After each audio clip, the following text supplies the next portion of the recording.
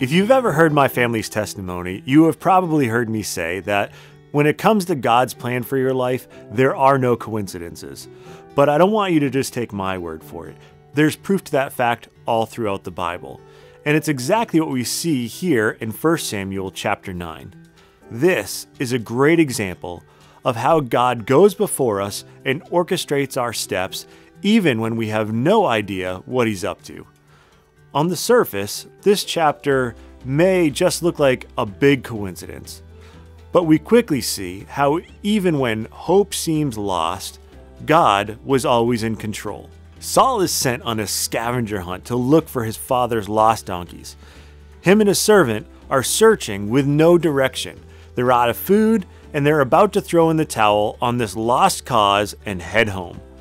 But suddenly, the servant has an idea to go see a prophet for help, which leads them to Samuel, who God had told the day before that Saul would be coming and to anoint him as king over Israel.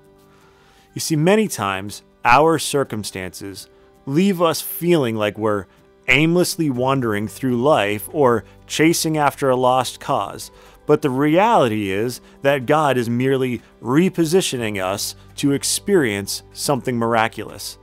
God is always at work in our lives, just like he was in Saul's. Deuteronomy 31 8 says, It is the Lord who goes before you. He will be with you. He will not leave you or forsake you.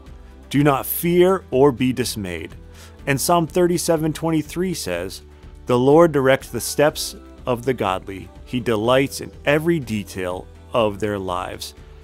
Every step we take has been carefully thought out and orchestrated by God.